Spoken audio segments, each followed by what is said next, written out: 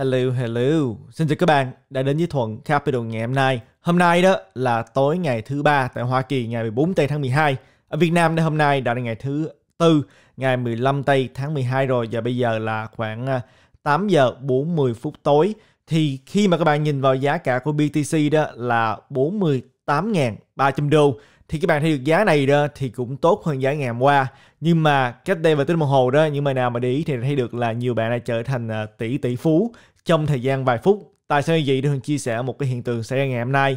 Cho những bạn nào mà lúc đó ở Việt Nam chắc cũng còn đang ngủ. Thì uh, lúc đó là khoảng chừng là 5 giờ sáng giờ Việt Nam. Thì uh, thuận đang ăn cơm. Thì lúc đó là khoảng chừng là 2 giờ chiều giờ Cali. Thì uh, đột ngột nhìn vào màn hình ở trên đồng hồ đó thấy được là giá của BTC đã xuống còn khoảng chừng là 32.400 đô. Có nghĩa là trong thời gian một phút thôi đã xuống 30%, xuống 14.000 đô. Thì uh, Thuận cũng rất là hết hồn không biết là chuyện gì đã xảy ra trong thời gian mà một phút như vậy. Các bạn thấy được là nếu như mà nói Bitcoin mà đi xuống 30% nên thì chúng ta cũng đã thường thấy rồi. Nhưng mà nếu nói là xuống 30% trên một phút đó thì uh, Thuận chưa thấy lần nào. Cho nên Thuận đã dùng cái điện thoại của mình và đã lên trên máy vi tính kiểm chứng đó. Thì cuối cùng cái vấn đề là cái ứng dụng stock đó. Các bạn nào mà sử dụng Apple cũng biết là các bạn có ứng dụng stock. Thì cái ứng dụng uh, cổ phiếu này cho thấy được là giá của BTC đó trong cái uh, thời gian khoảng chừng là 2 giờ mấy chiều đó là khoảng 30 uh, 2.000 đô, thường để là 34.000 đô đây nhưng mà thật ra trên màn hình chỉ có 32.000 đô mà thôi. Có nghĩa là giảm 30% trong vòng 3 phút. Các bạn thấy được là thường nói giỡn với các bạn là chắc là họ đang muốn thử nghiệm ứng dụng đo nhịp tim xem hoạt động có tốt hay là không thì sau đó lại có nhiều bạn comment bên dưới cái à, post này và nói là không chỉ riêng là ứng dụng Apple đâu có cái vấn đề gì đó khiến cho giá cả nó chạy lung tung nhưng mà ở trên Coin Market Cap đó thì lại ngược lại các bạn thấy được là Coin Market Cap trong thời gian ngắn đó chúng ta thấy được là đồng à, Cocos BCX à, đã đứng đầu. Và chúng ta sẽ được đồng thứ hai đồng Bitcoin với cái số tiền các bạn có thấy trên màn hình thì không là 778 tỷ. Thuận để trong cái à, thuyết này là 778 uh, à, triệu nhưng mà thực ra là 778 tỷ đô la. Ethereum là 9 tỷ Tether là 6 uh, triệu đô la, các bạn thì được là những con số rất là cao. Thì đương nhiên những bạn nào mà để lại comment bên dưới đó, nói là nhìn vào cái màn hình của mình thì thấy là giá cả đã tăng lên rất là nhiều rồi. Nhưng mà đương nhiên, đây chỉ là một cái lỗi của CoinMarketCap mà thôi. Và bây giờ đã hồi phục trở lại. Nhưng mà nào mà xem CoinMarketCap mình thấy là đã bình thường rồi. Thì chuyện này xảy ra thường cũng không có rành nữa. Như bạn nói là có một cái vụ tấn công, một cái vụ hack đã xảy ra thường cũng không có nhiều thông tin. Nhưng mà đây cũng là một cái hiện tượng đã xảy ra ngày hôm nay, cho nên thường muốn chia sẻ với các bạn về cái phương diện giá cả đó thì các bạn thấy được là chúng ta nhìn vào biểu đồ của nến ngày thì à, chúng ta cũng đang thấy là trên căn bản BTC vẫn đi hàng ngang à, hơn là một tuần qua. Thì hôm nay nếu tuy chúng ta thấy được là giá cả đã tốt hơn là ngày hôm qua, là bây giờ là mức là 48.300 đô. Thì hôm nay chúng ta cũng bắt đầu thấy lại nhiều màu xanh ở trên thị trường. Và chúng ta nhìn à, một số những đồng lớn đi thì các bạn thấy được là BTC thì trong vòng 24 giờ qua đó là tăng 2%, Ethereum cũng tương tự. À, đồng BNB thì đi hàng ngang, các bạn thấy được là Solana tăng 5%, à, chúng ta có Cardano, XRP thì cũng tăng khoảng chừng là 23% và Polkadot đi hàng ngang. Đặc biệt chúng ta có đồng Dogecoin tăng 15% và Avalanche là tăng 14%, kế đó là Terra Luna tăng 4,2%. Chúng ta sẽ nói thêm à, về một số đồng như đồng Solana, chúng ta cũng sẽ nói về đồng Matic ngày hôm nay và chúng ta cũng sẽ nói về thông tin liên quan tới đồng Dogecoin cũng như là Cardano trong à, cái video này. Nhưng mà trước hết chúng ta hãy nhìn về cái à, tài liệu mà rất quan trọng thì bây giờ mà rất nhiều người quan tâm đến đó chính là cái uh, tình hình liên quan tới cuộc họp của Fed đã diễn ra ngày 14 và 15 tây có nghĩa là ngày mai chúng ta sẽ biết kết quả và thông báo của Fed có nghĩa là cục dự trữ liên bang ở Hoa Kỳ sẽ là gì tăng lãi suất hay là bắt đầu là tăng tốc cái việc mà giảm đi cái số lượng tiền bơm vào trong thị trường? Thì đây là một trong những đề tài rất lớn ngày mai mà khi mà có thông tin tôi sẽ chia sẻ ngay với các bạn. Thì các bạn thấy được là hôm nay đó cái sự lo ngại liên quan đến cái à, tình hình lãi suất đó vẫn còn đang à, rất là cao. Các bạn thấy được là chỉ số chứng khoán của Hoa Kỳ là Dow Jones, S&P 500 và Nasdaq đều là màu đỏ ngày hôm nay. Tuy nhiên chúng ta nhìn vào cái chỉ số future hợp đồng à, tương lai đó thì nó cũng có một chút màu xanh như là các bạn nhìn thấy trên màn hình thì cũng tăng màu xanh một chút như là chỉ số Dow Futures, S&P Futures và Nasdaq đều màu xanh thì hy vọng là chúng ta thấy đây là cái à, dấu hiệu tốt bắt đầu cho ngày mai. Tại vì các bạn thấy được là cái sự lo ngại đó thì rất là nhiều liên quan tới cái việc là Fed tăng lãi suất hay là như thế nào. Và đương nhiên nếu như mà Fed tăng lãi suất hay là giảm đi cái số lượng tiền bơm trong thị trường thì à, đó là dấu hiệu không tốt, ngắn hạn cho thị trường. Tại vì có nghĩa là cái dòng tiền nó sẽ bị siết chặt hơn. Thì à, đây là một trong những thông tin mà thuận đã chia sẻ nhiều với các bạn rồi. Nhưng mà các bạn thấy được là một trong những điều mà thuận suy nghĩ đến là trước đây vài ngày trước cái cuộc họp này đó thực ra cái đây một hai tuần cũng đã có nhiều bạn lo lắng về cuộc họp này rồi.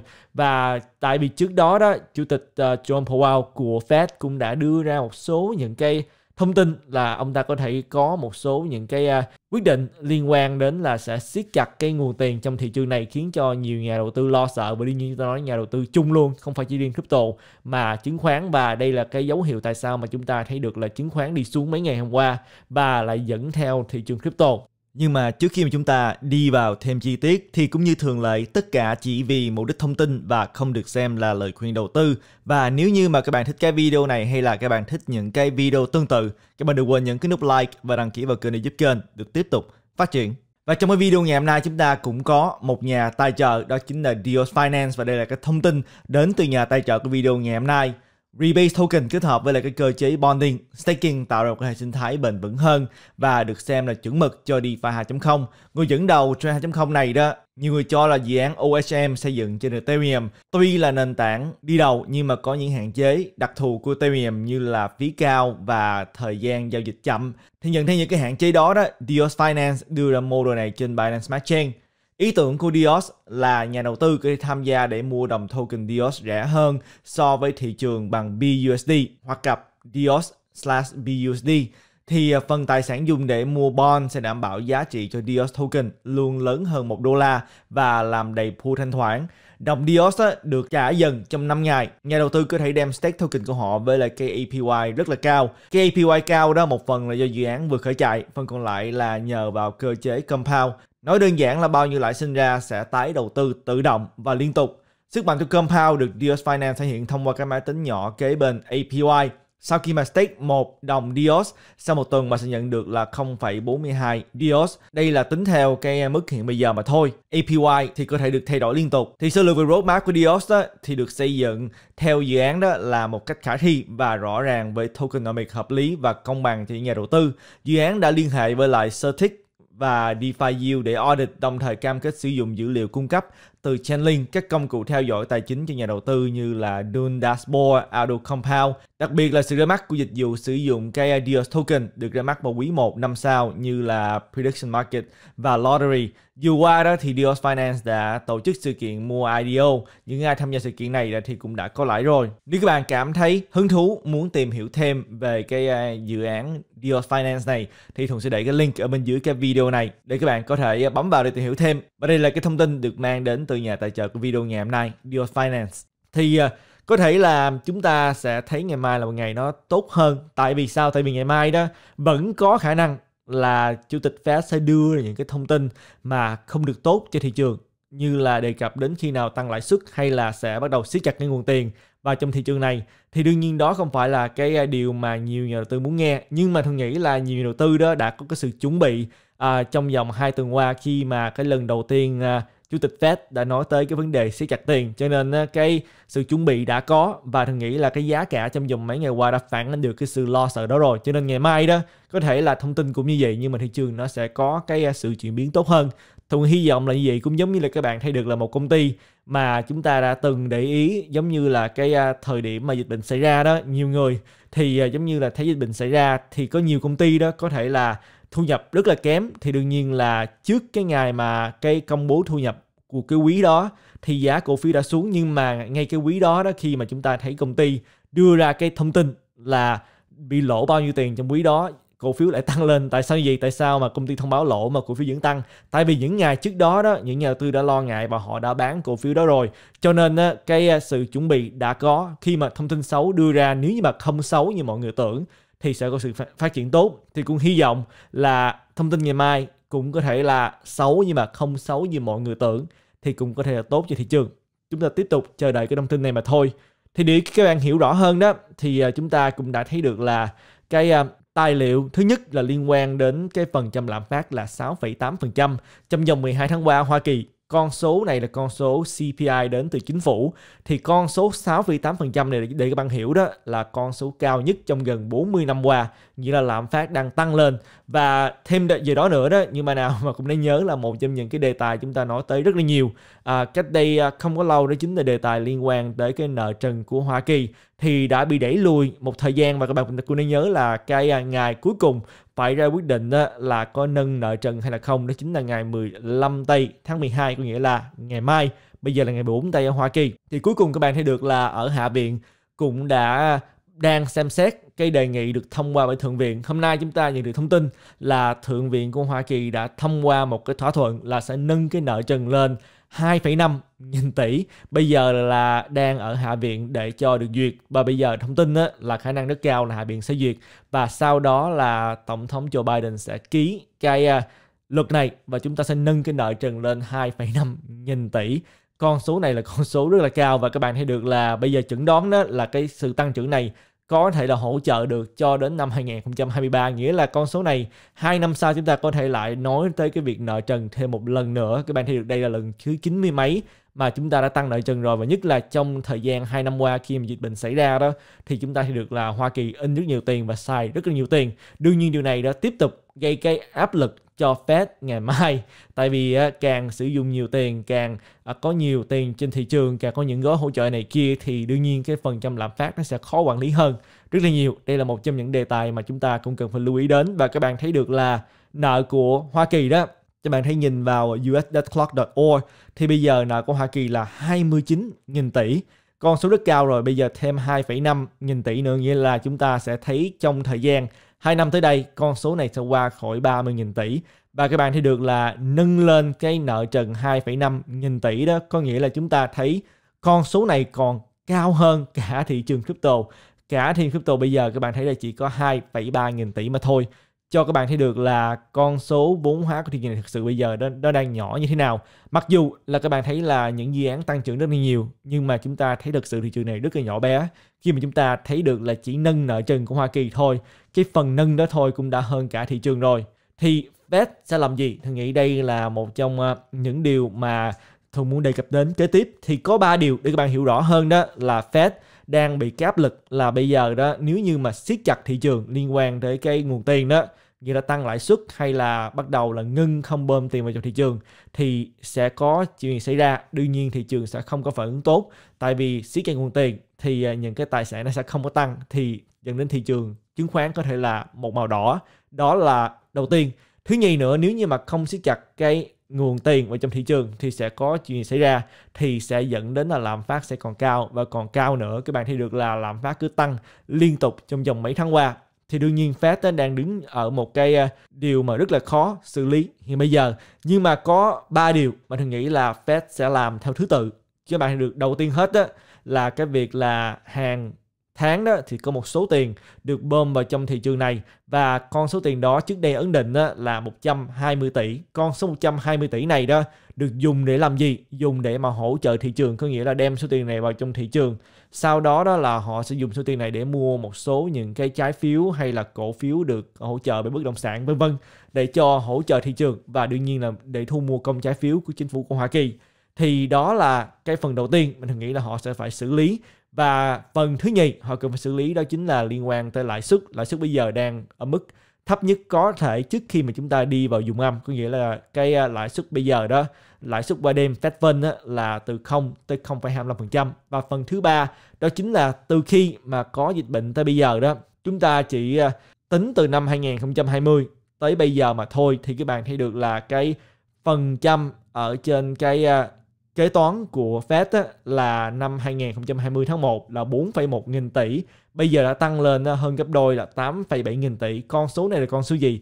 Con số này là con số tổng số tài sản mà Fed mua lại. Thực ra nó là tài sản gì thôi nhưng mà thực ra một phần là cái giấy nợ khi mà uh, Fed đem tiền vào trong thị trường để mua lại công trái phiếu nghĩa là mua lại giấy nợ của chính phủ Hoa Kỳ để cho chính phủ Hoa Kỳ có tiền thì cái giấy nợ đó sẽ được ghi vào trong cái ngân sách là một cái tài sản hiểu đơn giản là như vậy cho nên cái con số này đã Fed sẽ xử lý như thế nào? Đó là ba điều mà cần phải được xử lý nếu như mà Fed thực sự là muốn bắt đầu là cân bằng cái ờ, nền kinh tế lại. Thì điều đầu tiên hết á, người ta nói ngày mai thì khả năng rất cao là Fed sẽ có những cái quyết định liên quan đến là sẽ tăng tốc cái việc là giảm cái số lượng tiền đem vào trong thị trường.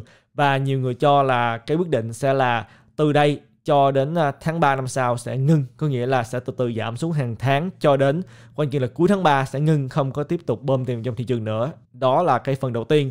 Phần thứ nhì, đương nhiên liên quan tới lãi suất. Thì bây giờ đó, theo cái cuộc bỏ phiếu thì cho thấy được là các bạn nhìn thấy trên màn hình đó thì bây giờ phần lớn những nhà đầu tư, họ cho là cái đợt tăng lãi suất đầu tiên đó sẽ xảy ra vào quý 2 của năm 2020 22 năm sau, nghĩa là bắt đầu từ tháng 6 và sẽ tăng từ từ. Bây giờ là từ 0 tới 0,25 thì họ sẽ tăng à, khoảng chừng là hai lần hay là ba lần à, trong cái à, thời gian năm 2022 và kế tiếp năm 2023 họ sẽ tăng khoảng chừng là hai ba lần nữa để cho tiếp tục có sự tăng trưởng. Cho nên á, ít nhất là nhiều người nói là chúng ta có thể à, sẽ thấy qua đến năm 2023 à, 22 quý 1 quý 2 mới bắt đầu là có sự tăng lãi suất chứ không phải là tăng bây giờ đâu. Bây giờ ngày mai Fed có thể là bắt đầu chia sẻ cái thông tin là mọi người nên bắt đầu chuẩn bị cho khoảng chừng là sau quý 1 của năm sau phần kế tiếp sẽ là lãi suất và kế đó nữa là liên quan đến cái số lượng nợ mà đang được ghi bởi à, Fed sẽ giải quyết như thế nào